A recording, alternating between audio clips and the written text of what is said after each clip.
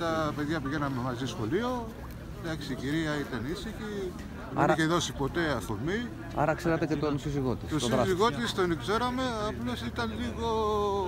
Τι να σου πω, έξω από τα ρούχα μας. Δηλαδή, Δηλαδή; Δηλαδή ήταν λιγάκι αυστηρά. ήταν βαρύς άνθρωπος. Λίγο βαρύς άνθρωπος και βαρύς. Σε... Εδώ δεν μπορούσε ούτε η γυναίκα να πάρει την αγωνία της να τη δει.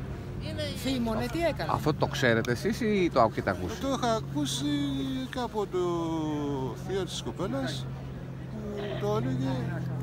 Δεν, δεν την άφηνε να δει ούτε το εγγόνι Μπράβο, της. ναι. Ακόμα και στα ίδια την οικογένεια δεν πήγαινε ούτε το ίδιο το παιδί να το δει.